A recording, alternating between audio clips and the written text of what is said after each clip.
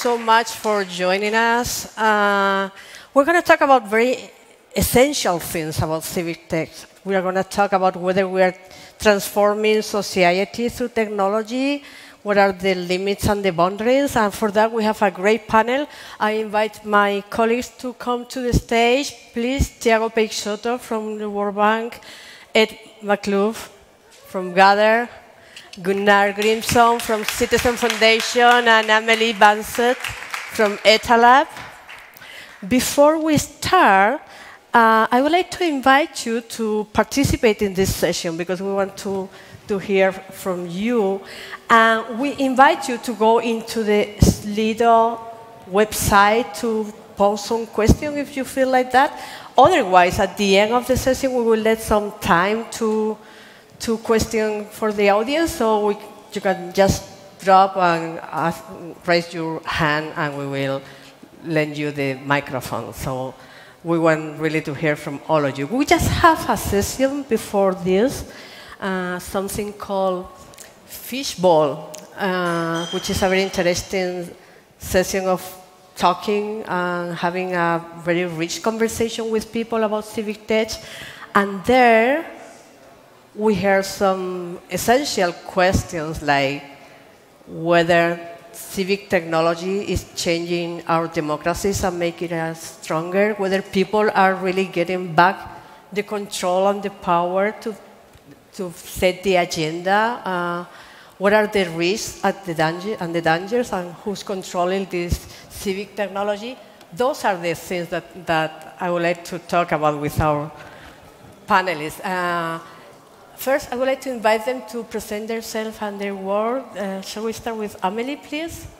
So, uh, my name is Amélie Banzet. I work for ETALAB, uh, which is uh, within the Prime Minister, the French Prime Minister office, the task force in charge of open data and open government.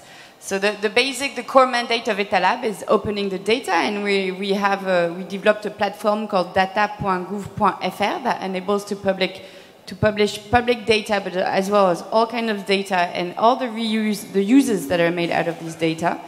But beyond the data, uh, beyond this uh, work uh, on transparency and, and, and giving back the data to the citizens for social and economic growth, we started working on opening government. What does it mean, opening government? It's basically making sure that the citizen can um, understand how the decisions are made and can also and, and testing all kinds of different practices and we're really testing right now um, the way that uh, the state and the citizens can be closer and, and can talk better and make the dialogue easier more fluid and, and transforming the way the administration is working to make it work with it with really the expertise and, and, and the, the outside intelligence of all the citizens Gunnar. Yes, uh, hi. Thanks for uh, having me here and thanks for being here. Uh, my name is Gunnar Grimsson, uh, G. Grims on uh, Twitter.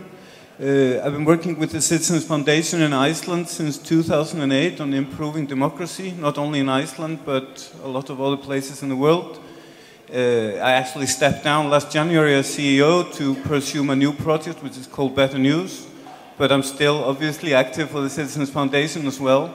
Uh, we have been developing software and processes to try to get people to participate in uh, electronic democracy and new methods of democracy. And we have been quite successful. We've had over a million people uh, participating in a project that we are directly involved in. And the thing is that, yes, it's, uh, it's a more complicated issue than just technology and that's what I have become mostly interested in, is how can we get people to participate because they want to. Diego. Hi, uh, I'm Tiago from the World Bank. Um, I'm from the governance unit, governance practice, which we call, which we have the function to promote good governance. In my unit specifically, uh, what we do is to promote the use of technology to promote citizen engagement. So this can vary a lot, it can be from policy crowdsourcing to mobile participatory budgeting in Congo, to uh, using cryptocurrency to provide grants and access to, uh, to poor farmers. Uh, this is one part, so it is supporting to put in place these systems, and the other one that we do is essentially evaluating and trying to understand what works and what doesn't work, because most of the times it doesn't work. It doesn't work. Ed? Hi, uh, I'm Ed Maklouf. I have uh, a social impact startup making technology, especially uh, called Gather, especially focused on consensus and consensus making. But currently, I'm researching and writing a book about the origins and evolution of collective decision making.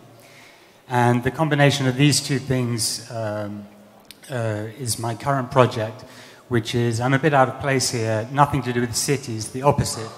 I'm working with small indigenous tribes, uh, trying to uh, bring them some technological capabilities for engaging within a very advanced uh, central technologies to uh, try and use democracy technologies in the interests of small, very remote communities and tribes. Well, uh, Ed, this is just a panel in which it's not about cities because we have local, we have hyperlocal, we have state, national, and we have supranational, which is something we, we want to assess. Like, how does it work? Because sometimes we can feel that civic technology is only for local communities and cities. Like, okay, you can make a decision about what's the color of the bench in your park, but then you cannot act when you, you want to in, intervene in some bigger decisions like the health, education, the labor regulation. So this is something we, we will go into. Before starting the panel, I'm sorry, I forgot. The Slido number, if you want to go into the mm, website to put some question, is 5038. This is the, the number of the events, if you want to get there. So first of all, I would like to ask you how much how much there is a reality and how much there is a mirage in civic technology transformation. Are we really empowering people and transforming democracy? Amelie? Um, civic, civic, technology is technology. It's a tool, and uh, a tool is just a, a, a media to transform something.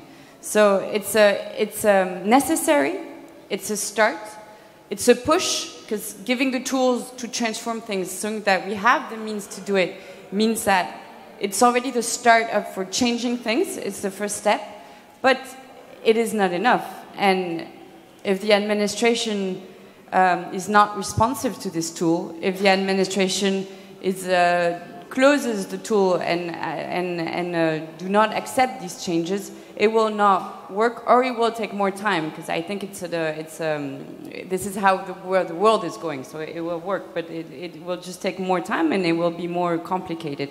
So civic technology is, uh, is necessary, but I would say not enough today. The real changes have to be also cultural changes within the administration, within uh, the relation between uh, the state and the citizens, uh, within the way that we work in the administration on different way, on a legal way, but also on a technical way, on a structural way, on infrastructure way. Even if we're uh, there's a lot of people very motivated within the state to change. There's so many barriers, security barriers, legal barriers, uh, administrative barriers.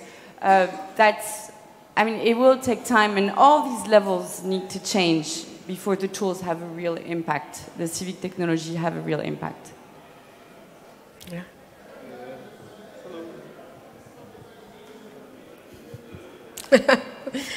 Hello. Hello. Uh, I have to say I agree with everything that Amelie said, actually. Uh, also, this really important thing of realizing that a tool is just a tool. It does not do anything on its own. Uh, the thing is that I think, no, we're not doing enough, and what we're doing is not working well enough for various reasons. Uh, I'll give you bit because, yeah, I'll give you a bit of uh, background. I've, I've, done quite a lot of work in Poland in different projects. And in the, uh, in the Soviet time, when Poland was a Soviet colony, so to speak, they had really strong democratic institutions in the cities and in the towns. They had autonomy over lots of things, but they were living under a totalitarian regime. So what we're doing with all our wonderful PB projects and e-democracy projects is in a bit similar to this, because we are not being allowed to make decisions or even have opinions on the bigger things, on the things that matter the most. And I don't know exactly why that is, but one thing I know is that once someone has power, he doesn't let go of it easily. And it's really, really, really hard to get governments, to get the bureaucratic system and the politicians to renounce any of the power they have. It is happening slowly here and there, but we're definitely not doing enough. Yeah, I mean, I agree, but just to disagree a bit. Uh, so uh, recently, uh, we did a study looking at civic technology in developing countries. Uh, and we're trying to, to measure what impact they have. Do they document impact? And what is impact? You know, impact is not like how many people accessed your, your platform or anything like that, or at least that would be an intermediate impact. What we saw is that the overwhelming majority of them were a failure. But these were looking at developing countries initiatives. But you don't need to go very far. What is called civic tech now 10 years ago in France, we called e-participation, or démocratie électronique. And it he received huge amounts of funding all over Europe. Um, now you can go and consult and see how many of these platforms are online. I'll, I'll let you do the, the, test. Now, there are some cases where they seem to be working. You know? Uh, participatory budgeting in Paris. It's quite empowering. Uh, the city of Paris uh, was very nice in giving us some of their data, and we've been looking at it and how the choices. And you see that the citizens are spending the money in a way that is different from the government. So there's a difference. The thing is how we bring that to scale, but I think we're going to get to that later. Absolutely. Yeah, I mean, I agree with. Uh, I mean, there's some aspects of that I disagree with a bit. Huge amounts of money dedicated to these projects. I don't see massive signs of dedication as a society to what could be done with technology to reanimate, reinvent the process. Uh, how much does a bridge across this canal cost? A couple of million. Uh, in order to, for example, completely surveil government to try and eradicate corruption would not be a massive price ticket. So I don't see a lot of, I see amazing things going on, but in terms of whole countries dedicating big resources to uh, considering e-democracy as infrastructure, if you compare that to other infrastructure projects, it's nothing. And this is supposedly a very important one. On the other hand, I do think there's uh, yeah, more work to be done because we, if you look around the world, in the developing world, uh, the, the truth is that without being really clear about what the enterprise is and what's the idea, is it just this nebulous idea of more participation, uh, more people deciding means better? You can get oneself into trouble, and there's plenty of places which it's not working very well, yeah. even with the participation. I would like to point out uh, in terms of measurement of success, what defines the success of a civic tech initiative? Because we have come a long way since the first participatory budget in Porto Alegre back in 1989, like, like 20 years. So people in this room were not born yet. And uh, we can see like this growing gap between people's expectation and the reality and the efficiency of civic technology initiatives. How shall we deal with this? How do we measure success and how do we work with this gap between expect people's expectations and real results that we can measure? And I'm talking about real impact, not outputs, because we, are, we have many studies and reports talking about outputs and number of citizens that went into the platform and vote for this and that. But do we really have some science behind this to measure the transformation that we are doing through civic technology? Tiago, I think you're the expert here. Do we have some science that can support so, uh, the changes? No, there, there is, but it's always like case by case. Already, civic tech is such a underdefined term, right? Yeah. Um, so, but uh, when we're looking at the things, the way we assess things, that we look in terms of citizen engagement, we see three things. One, does it have effect on the citizen or on the participant. So, as a citizen, do I feel more empowered? Do I feel more competent? Or do I start to create networks that I didn't have before? Now, does it change what, I call, what we call political efficacy or a sense of political efficacy? So, it's one, number one. Number two, that I look, does it promote a change in government? If citizens express a voice, does the government respond? And it's not just like a, selective listening. No, it is really do governments respond to them? Do they take actions that otherwise they would have not? And the third one is what we've been looking at. It's uh, developmental outcomes.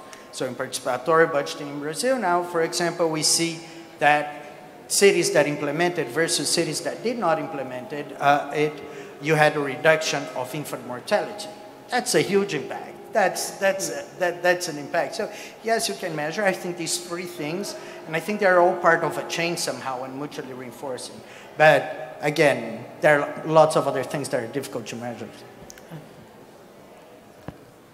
Do you have experience in measuring results in France? Um, so th there are some uh, in in France, uh, not specifically, but some indicators on measuring, for example. Uh, the trust the citizens have towards their government. Or, but I think civic tech, you said a lot of people want to participate. Now, we're in a culture, we're in a world where you, you, you ask Google a question and you get like the answers and you, you know where to find the information. And so it's not understandable anymore for the people that, that they cannot find easy, easy information like the budget uh, that is spent from their state on Google or on, on, on a platform, on a state platform, or, or quickly in a search engine. It's not understandable that they cannot dialogue really easily, that you still have to wait hours on the phone before you can actually have a question, you know, ask your question on a public service. This is not possible anymore. So these are the changes. Is civic tech the answer? It's probably really part of the answer. It could be high technology, it could be low technology. But I think the, the impact, measuring the impact, is seeing more how much people trust their government, how much people are happy within their of, uh, for their public services, how much uh, uh, people believe that their state, I'm, I'm, talking from a point of view of the administration, but the state is actually here to help them and to find solutions to their daily life and not just as a constraint and as a rigidity which is today the feeling that most people, I mean, a lot of people have, is that, I mean, according, we have some measuring, um, Ipsos has done some, some uh, polls that shows that 70% of the French people believe that their, uh, their representative, political representative, are corrupted, or 80% of the French people believe that their administration does not have the answer they're uh, asking. These are the type of indicators that are really important, and civic tech can help us to regain the trust of the citizen, have better public services more adapted to citizen, build the public services with them, and it's part of the answer. I think it's not the only answer because civic tech is also a model of a certain society, and we need to think first of the model of the society we want to have, uh, but it's definitely, it will help for sure. Uh, actually, the main criteria that we have used at the Citizen Foundation to measure uh, success is the only one that I know of that is uh, like a, uh, concrete measurement, and that is by participation. That obviously does not measure how good something came out or whatever, but those, those are all relative things. Uh, I agree with what they both said. There are ways to measure this, but it's also always a thing is what does the measuring tool really tell you because this is really ambiguous. What is, is this a better project than this one? How is this different from the project that the city would have done? This is really, really hard to measure. Uh, but the main thing from my point of view, or from the Citizens Foundation point of view actually, is that participation is the cornerstone of democracy. If we don't have participation, we don't have democracy. If we have 10% participation in, uh, in participatory budgeting projects, then that's a lot on a world scale. But if you compare it to the 80% of whatever it is in your country of people that show up in election, then 10% is horrible. And also, in connection with the uh, first question on Slido, uh, it is leaving behind a lot of people that we really need to get access to. We really need to get them active because a lot of those people are the people that let themselves be feared into voting for Brexit and let themselves be feared into voting for Trump. We need to reach those people, but the right way to reach them is not saying, oh, we can't do e democracy because not everybody can do it, because then we don't do anything. This, this goes directly to something that we spoke before, which is whether civic tech is something good by nature. Like we, we like to think that anything related to giving people the opportunity to have a direct participation is good by definition, but then there, in, there is this, there are all those questions about who's controlling this technology, what's happening with our data, who's controlling the data, and who is influencing people making those decisions. So who's to rule civic tech and who's to monitor globally the technology that we are using to reinvent democracy? Are we safe in the hands of civic tech? No. Okay. I mean, a lot of, it's a good question. A lot of the civic tech uh, innovation is organized along commercial lines, and it's a, it's a kind of competitive space and an idea space, and so it has all the same dangers as any human enterprise where there's status and winners and losers and power and money.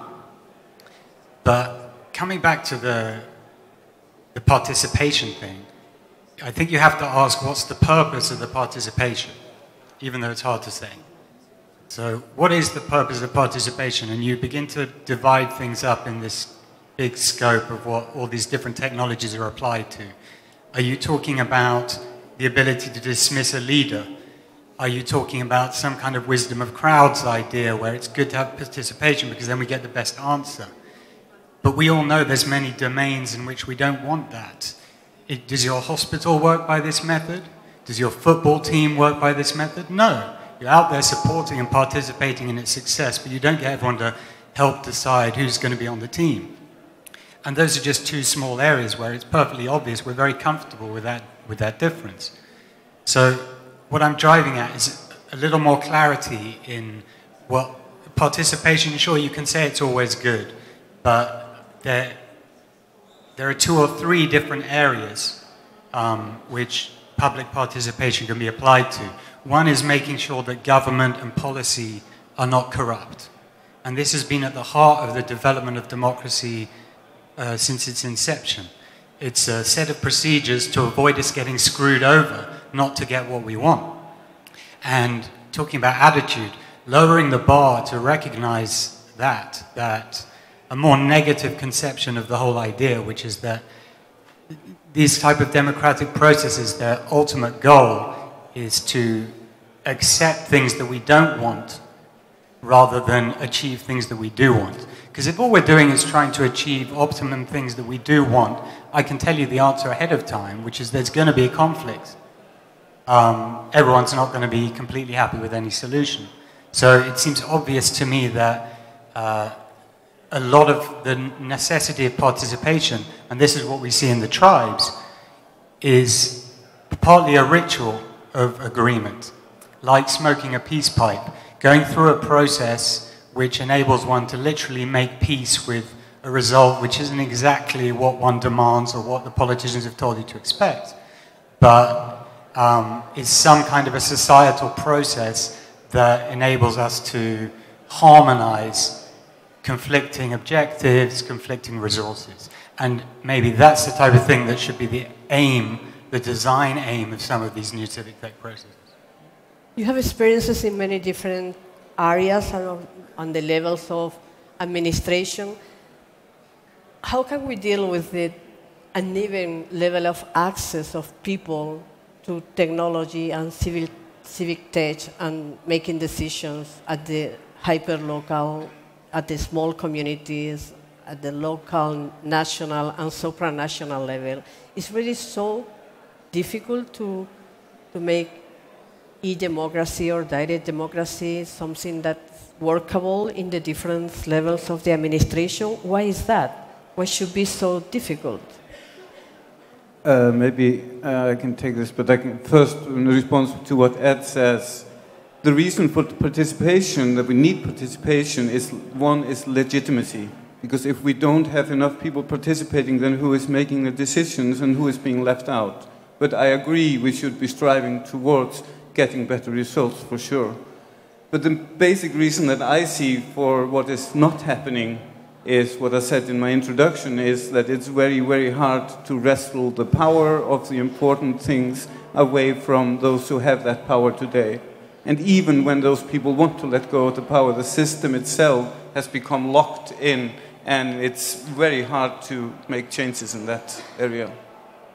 And if I can jump in there, I don't resist. I think, I think one of the things that it's the epistemic value of democracy. I mean, if, if it is the capacity to aggregate and to leverage dispersed knowledge uh, and, and to come to, to, better decisions. Now, there are some cases, of course, uh, well, let's see, there's last year's where you did that and it was a total failure. But then it is because of poor institutional design. It is poor institutional design. 99% of the times when participation fails in terms of they chose the wrong thing is because you put a pretty bad process in place. So they chose the wrong thing. So what was the point of the whole theatre then? We know what the right thing is. So no, it is not that. And maybe you, what I'm saying is that you're creating, you're asking extremely complicated because you want to legitimate as well. And you want to get also some level of consensus and so on. But then there are other things. So to give an example nowadays, in Oregon for citizen initiatives, now what they do, they have a deliberative process before where citizens are informed and everything, and they make recommendations to the voters. And that significantly improves the process. So there are many processes recently that we saw that they could have been improved by institutional design. Is this bad design on purpose? Hmm? Is this bad design on purpose most of the time? well, when you start to to put forward decisions, know, uh, put forward democratic decisions in an opportunistic way, I would say that is that is not a very good choice. Yeah, and sometimes on purpose. It depends what also what, what metaphor you're using. Okay, if you're designing systems, um, most probably it's legacy. So yeah. you're designing into the London metro system You can have a lot of great ideas, but the tunnels are where they are.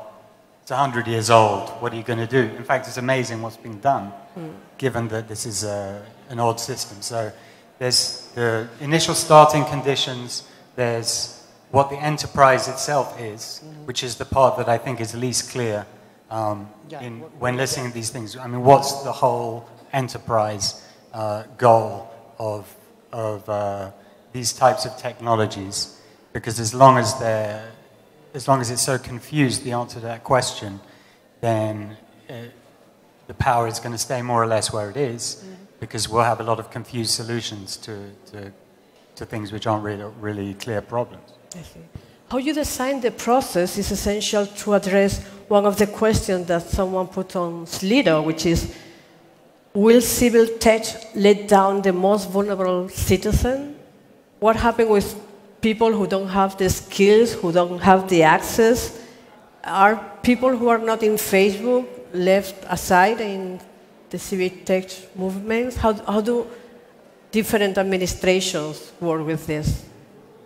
I, I think um, it's a question. I mean, civic tech and technology is a problem because, in fact, there are a lot of people that do not have access, that do not know how to use it. In France, we say there's 10% of, uh, of uh, people that are outside of, of, the, all the civic movement and digital movement, uh, digital illiterate, for them. Um, but there again, um, civic tech is, is just, I mean, it's, uh, it could be, it's just a part of it of changing the whole system. So today, I mean, we have a system. You're talking about direct democracy. I'm, I'm just what you said a while ago now, one of your questions. I'm just thinking, is that what we want? Is that what we want? Is it direct democracy? Do we want every single people to be able to say something on everything, on a health policy, on school, on, on, on the national, uh, national level, the local level. Is that really the system that we want? I don't know. We are supposed to no, live in no, the- in my opinion. in But I don't think that any advocate of direct democracy Yeah. advocates for Okay. that. That's yeah, yeah. Well, that's yeah. a bit of a straw man argument, or some some fanatics. So today, our best, you were talking about Civic Tech being able to aggregate uh, the, the strongest opinion and the majority. I mean, today, No, the dispersed knowledge. It's very dispersed different. knowledge. That's true. But today we have, I mean, we have, we have, our, we, we vote for people, we vote for deputy that are supposed to do this, that are supposed to, you know, represent uh, the general interest, the common good. The problem is we don't believe they do anymore. I mean, most of the people don't believe they do anymore. And this is how we say, well, maybe a robot, maybe a machine will do it better. At least it will have a neutral opinion and it won't have, you know, a political opinion behind. And but actually, this machine is also designed by people behind. So it also has a bias and also have a certain point of view. And so, but the machine at least could be transparent the way it's designed and couldn't be uh, uh, constant. Like the same, you know, once it's designed, it remains, it doesn't change according to its mood or according to the context or the. So that's one thing that the machine can bring. But still, I mean, so coming back to your question, will it forget the most vulnerable people? The way it's designed, it could be designed to include um, the, the, the general interest and the common good, actually. It's just really about the model that we want to push and the way we will design it. This is what it's all about. It's all about this political decision because it will remain political decision and ideological vision behind. This is what's important. And then the tool, it will be designed the way that we decide that it will be designed. Just to agree on that question, um, on gender, there are differences on gender. We looked at Fix My Street. You, everybody knows Fix My Street. It's kind of like, oh, there's a pothole. Uh, and we saw when you sign as a man, government is more likely to respond to your problem than if you're a woman. On the other hand, there's change.org that follows a very different design. And even though most men create petitions, women's petitions tend to be the ones that win the most. So you have matters of design, a black box of design and how it affects groups that we still need to open. As Amélie said before, uh, algorithm has are political decisions. The way you design the, the program and the project have political consequences always. Gunnar, some ideas about how to Yeah, I mean, this is Not to uh, the left thing behind. that most people don't realize, but which you put quite succinctly, is that uh, it is the design of the tool that has an enormous effect on the output. And what that means is that we have to experiment a lot and find out what works, but not only experiment, but also check what came out of the experiment instead of just jumping to the next one. And uh, this is not something that we are just going to like shake out of a bag and say, here's your ready-made e-democracy. We've been doing this kind of stuff for years, but we are not really close to finding anything that's like the thing. But we have to experiment, we have to try, because otherwise we don't get there. It. Well, I, I would like to go back to one question that Ed answered before with a rotund no. And the question was something like Are we safe in the hands of civic technology? Because when all this process began, which is difficult to say exactly when was it, uh, for example, when, when social network exploded, we had all this literature about how our politician and administrator we have the opportunity to have a direct conversation with communities so they could ask them about their needs and their aims and their aspirations. So they would be like like a town hall in a global network through internet. But then when, what we saw was those politicians and those political parties hiring those very fancy communication uh, consultants, so they will send um, social network campaigns to promote their agenda.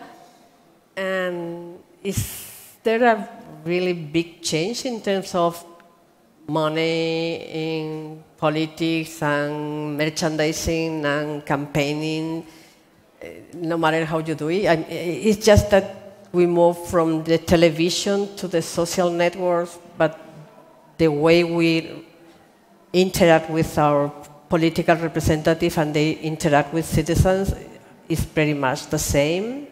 We just change the custom.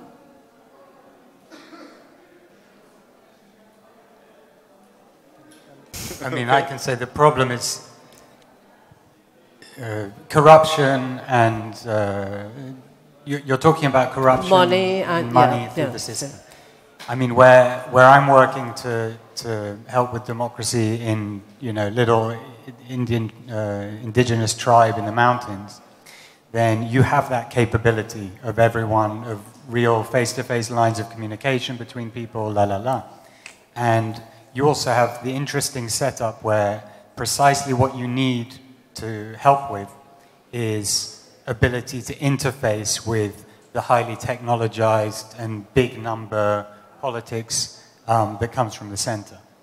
And so you see those two things side by side. And I, have been looking at a case where a name of a town is changed by referendum, so supposedly the most democratic means of everything, and it magically loses its indigenous name and becomes called Puerto Bello or something.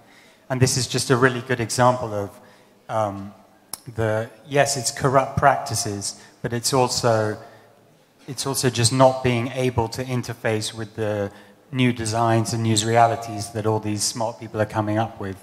Um, the speed of innovation going faster than a capability to, to interact with it or build up the kind of traditions or methods that make those kind of new practices stick and really work for, for all people in a society. It's a really difficult problem. The only thing I always comment on with these questions about security and corruption is going back to what I mentioned before. At its very inception, democracy is just a set of techniques to avoid corruption. The existing system is corrupt. In this conference, you hear a lot about getting back our democracy and going back and getting it back. I don't know when we're referring to precisely. Is this, was this the 80s? Was this the 70s?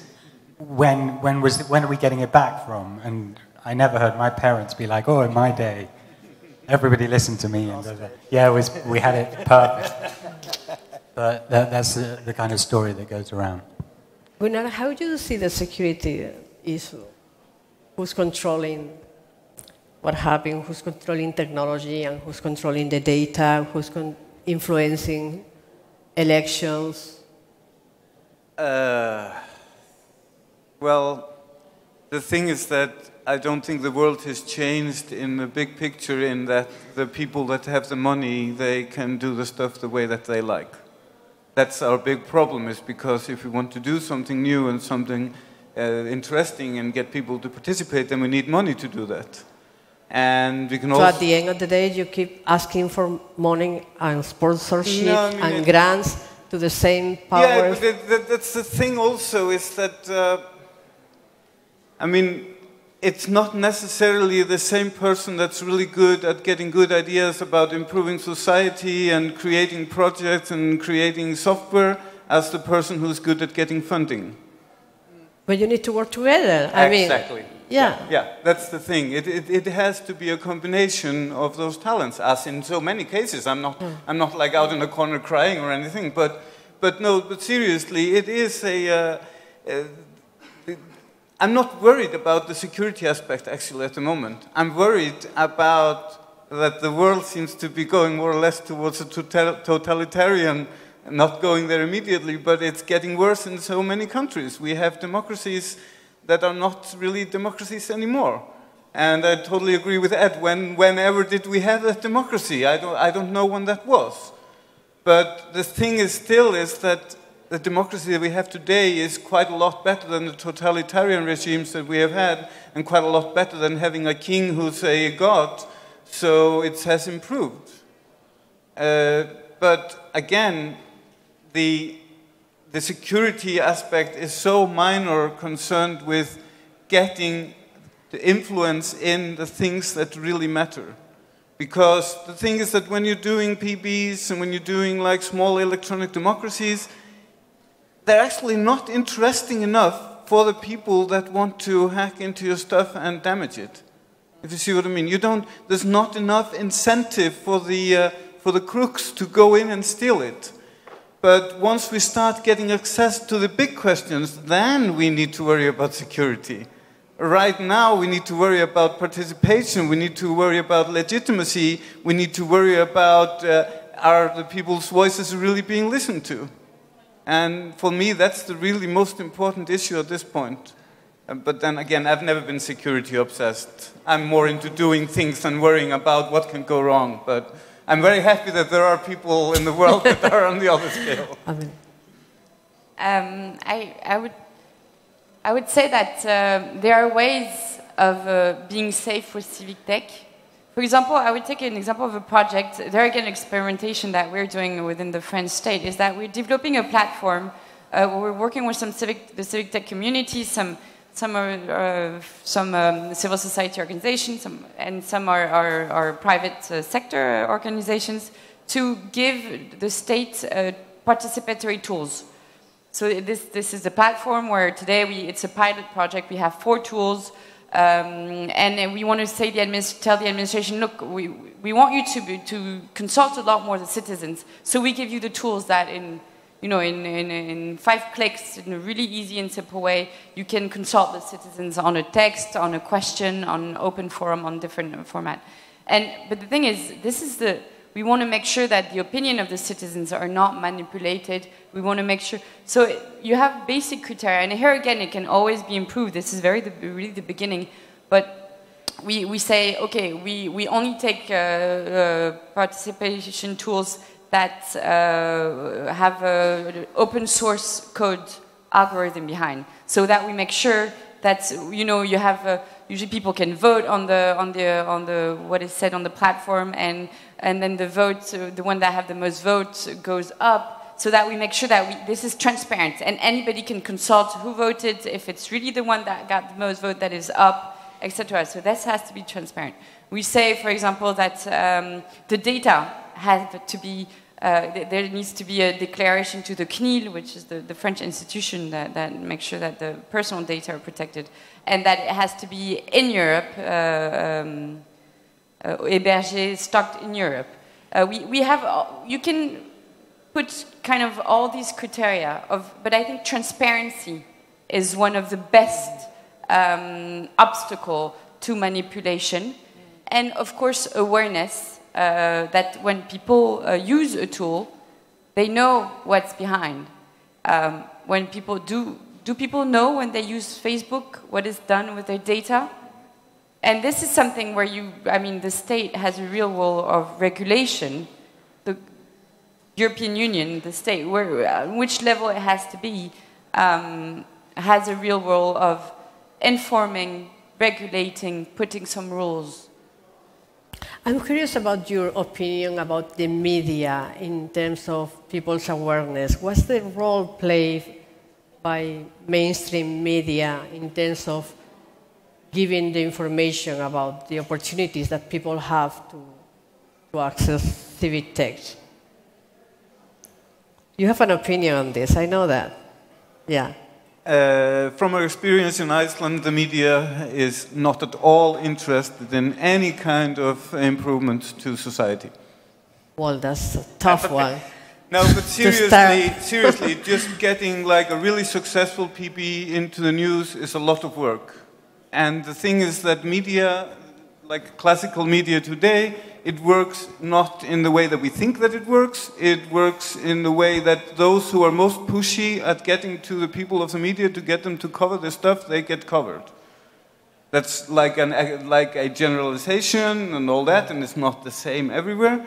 But the thing is that this is so really, really important. And this is actually one of the reasons why I quit as a CEO of Citizens Foundation and started on my Better News project, because we can have all the PBs in the world and e-democracies, but if we don't give the people, or if the people don't have the data that they need in order to make an informed decision, then we're not going to get good results.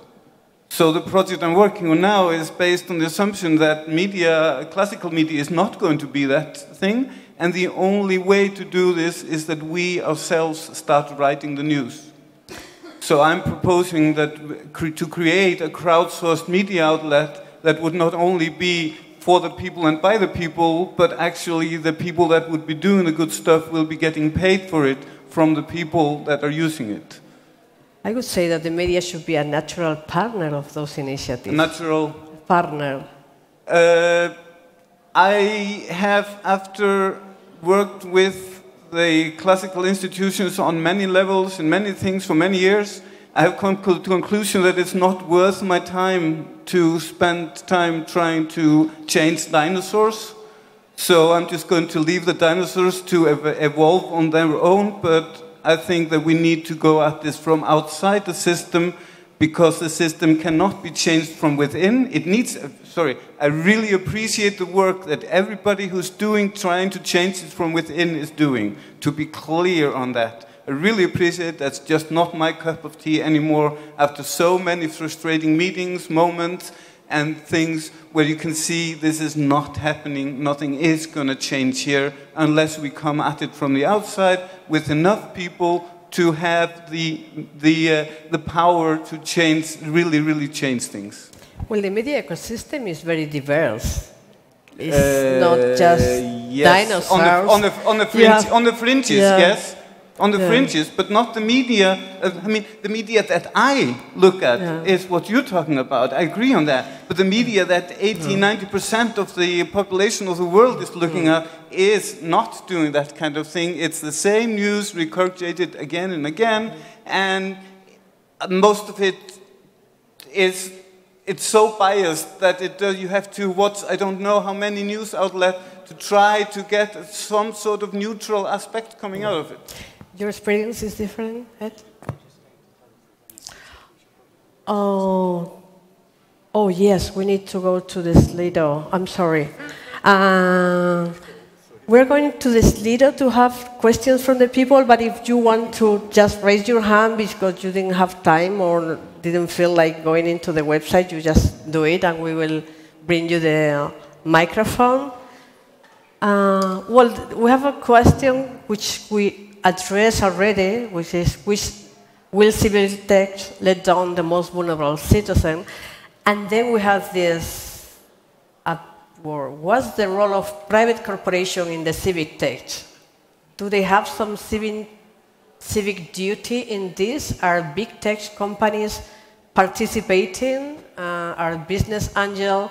We were talking about financing the projects and the initiatives.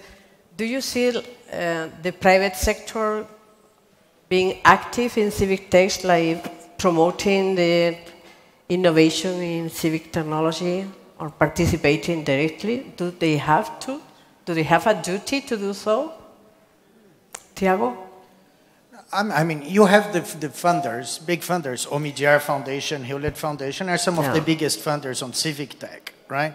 But then you have the other side, which is big companies, social networks and so on that I won't say names, but that they could be doing a better job in using their tools to, to better promote. But again, on social networks, I'm going to give an example. Facebook, everybody thinks of it as a public sphere, but it's not. It's more like the plaza, the food plaza of a small mall where you can interact. But I mean, it's still a private space where you're interacting. So if we really think that it's important for democracy and so on, then it's government that has to regulate. But if not, we can't be, let's say, whining and hoping that they'll do something on their own because they're there for, for private enterprise and, and that's the way it works. I know it's, it doesn't go totally with the consensus, but um, if we think something's extremely, it's a public good, and it has good or bad consequences in society or effects regulated. Yeah, I mean, I totally agree with that. Those, uh, those large entities, this, the stuff that they're working on out there can be of tremendous value and, uh, and use in the civic tech domain. Um, scarily so, precisely because they, while we in the civic tech world are not clear on what the enterprise is, they are clear. And, and it will tend to go in that direction. um, and be used for their own uh, benefit one way or the other. There do seem to be uh, examples of these big uh, corporations taking on board, whether for optics or to try and appear more uh, largesse, uh, taking on some kind of uh, civic duty kind of uh, narrative into their Yeah. whole existence. We'll have to wait and see what that. Uh, What are the main sources of funding for independent initiatives? In your case, and Gunnar in the foundation, the main sources of financing are. Yeah. Uh, it's a struggle. It's uh, we have a regular project going on with the city of Reykjavik, and there is some money coming in there, but uh, that's so little that actually we have a deal, if you could call it that, is that we do 50% of the work for free. And uh, then we have like projects which are grant-based and projects that which uh, are by a government. But I mean, this is something I've been talking about for years. It's that it's one of the biggest problems in, in our sector is that there is a huge divide between the money and the people doing the work. And it's uh, the thing is that when you have then coming in uh, private corporations, then the problem becomes what is their agenda? What is their reason for wanting to do this? And I'm fine with it as long as there are rules going down and saying, well, you have to do it like this and like that and like this. And actually, coming back to the security question, one, in one part that should be a requisite for every e-democracy project is that the software is open source. Because if it's not, then there's no way of knowing what is happening inside the, the, the software. So it, it's, it, it's not because I'm an open source affinity. It, it's just, it's so obvious. We cannot do it in any other way if we want to trust the results. And we go back to transparency. It doesn't matter whether it's a small civic initiative, a private, a small foundation, or a national government. That's the only, the only rule. So, the purpose of civic technology is inclusive governance. Amélie? You went from open data to open gov. Is inclusive governance the purpose of civic technology? I'm going to repeat. So the purpose of civic technology is, uh, is uh, what the people want to make out of it.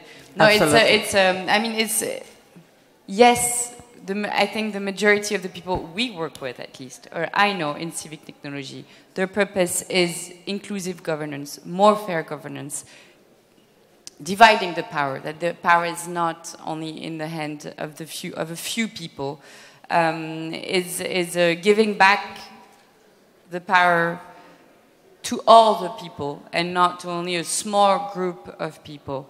Um, the, the, I, the purpose of civic technology is, uh, is helping us to build a better democracy where the people will trust their government, trust their society, and feel that they're being heard. Can I say, I think Sure. that's, that's really nice. And the, but I think there's two purposes, if, if I understand the question correctly. One is to improve something like what we have. This, uh, this, you know, we've got these processes, these things that it's supposed to do on the tin, and we can make them better and do more stuff like that. But the other idea, and I think something that inspires a lot more people here, is, is the purpose of civic technology is to explore and potentially exploit an idea space of different configurations, uh, what can be created with, with applying these new technologies in new ways. And uh, really, we just need a bit of space within which to do that. Um, we may find it in different areas. I find it in the, you know, little villages in the mountains. Yeah. Um, the other speakers today have been talking about the need for sandboxes, um, things so we can answer that question with, with more acuity. Um, the purpose of it is to find out what it can do or if it's a total disaster. Um, and uh, so improving what we have now, sure, like the post office or whatever, but, but that's only really half the story. And it's a working in process always. We need to finish. If, if there is any question in the room, I have one petition before we leave. I would like to ask you to mention three, three, three things that people attending the Ouishare Festival can do starting right now with or without technology to improve our democracy. Please. With or without algorithm. What shall we do starting now? Go and read Uh, something. One thing I would strongly advise you, especially during this festival, but in general, when someone starts talking about technology, you should have a huge warning sign above your head and think, what is it for? What are we going to use it for? Why are we doing this? And not like, oh, that's nice software. So good advice. Amélie? One? Um, I'm, I'm going to be talking for, from my point of view, so the French administration. Concrete things, please be optimistic. You know, be, Yeah. be critical, but be optimistic. We are trying to make things better. Uh, and the second thing is, well, we're trying all types of different experimentation through hackathon, open ministry, uh, what we're doing at least on the French national state. So you're more than welcome. Please come and help us when we're doing these events. Unfortunately, mostly in Paris, which is already a mistake, but in France. And the third thing I would say, um, you, I don't know if you heard about the Open Government Partnership. The Open Government Partnership is an international organization. I mean, it's a it's a civil it's an association uh, by its uh, legal status, but it's uh, 75 countries and thousands of civil society organizations discussing together and exchanging on the best practices and what could be better. France is represented. Uh, Etalab is representing France in, in this partnership, and uh, we need we need civil society to, to, to push us. We need so please join this initiative if you have an organization, and come and, and, and tickle us and, and push us to be more, you know, exemplary, more um, uh, to, to, to try to push things further on. Ed. I would say, because I don't really know the answer, do stuff for the environment. Uh, I'm not quite sure how, but I think that this is the.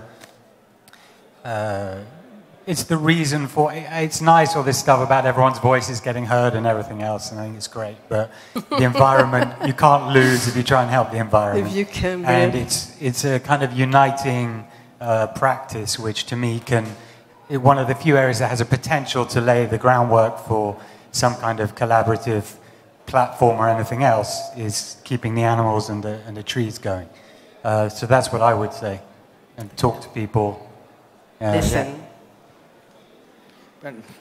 yeah, it's a big question. so, uh, no, I think if you're doing something, uh, always ask yourself, is it really making a difference? And try to doubt yourself, because many times we like to think that we're making more difference than we actually are. And uh, if after assessing you realize that it's not making a lot of difference, try to do it differently until you start to get it right. Thank you so much. If I may say just one thing from my part, please keep in mind that you are now in one place which is full of very innovative and inspiring people doing great things in all type of places around the world. So take the opportunity to talk to them, talk to everybody sitting next to you, actively listen, connect, and learn because we have a great opportunity sharing here. Thank you so much to all of you.